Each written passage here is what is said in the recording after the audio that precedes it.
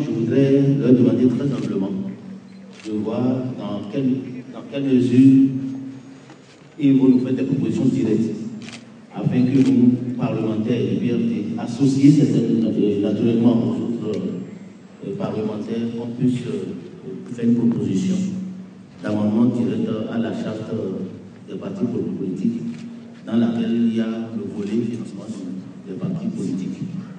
Donc, ce serait intéressant que vous l'ayez. Deuxième chose, vous savez, nous, là, on est devenu par la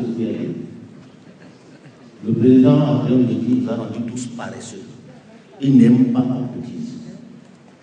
Mais nous sommes à l'heure de la vérité, puisque nous, nous sommes, en quelques semaines, un parti du gouvernement. Et en tant que tel, il faut que véritablement, à ce, stade, vous nous fassiez aussi des propositions pour améliorer les dispositions statutaires, parce que les statuts de, notre parti ont prévu le mode de cotisation. Donc il est important qu'un bon militant sache, selon son, sa catégorie, le palier, combien il doit apporter comme cotisation. Donc c'est important que nous sortions de, cette, de cette on dit que nous là, chacun à son niveau, on sorte du, du fainéantisme parce que le président quand même il commence pas à être suffisamment fatigué. Ça c'est. Hein? Il ne commence pas à être fatigué du point de vue euh, pas, pas, pas, de vue. Je vais finir Monsieur le Président, là, je vais m'adresser maintenant au président de l'Assemblée nationale, pas au président du parti. Je veux m'adresser maintenant au président de l'Assemblée nationale. Euh, cher, cher le plus grand parti du Bénin, c'est le PRI. Et s'il doit avoir financement des partis politiques, c'est encore le PRI qui va bénéficier. Plus que qu'on soit de l'opposition ou de la c'est le seul parti qui aura encore plus de ressources financières directes en, en dotation ou en subvention de l'État. Proposez-nous dans, votre démarche là aussi comment est-ce qu'il faut régler cette question du financement. Mais nous avons un souci.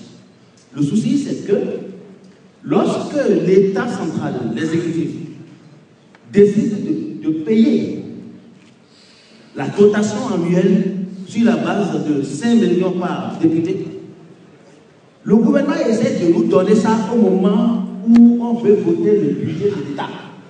En ce moment, qu'est-ce qu'il dire? Et ils sont en train de nous acheter. Au lieu que l'argent dans la caisse de notre parti, nous députés, voyons les autres en train de prendre directement la réponse en pensant que c'est pour nous les députés.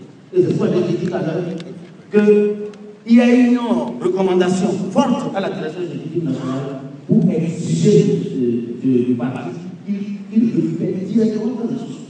On est bientôt en octobre. On est plutôt en octobre. En octobre, la session budgétaire, ils vont vouloir nous donner encore les 5 millions, 5 millions annuels. Il faut que véritablement nous ayons cette euh, recommandation qui serait peut-être adoptée par la direction exécutive nationale et imposée à tous les camarades. Donc voilà un peu ce que je voulais pas monopoliser la parole et je vous remercie.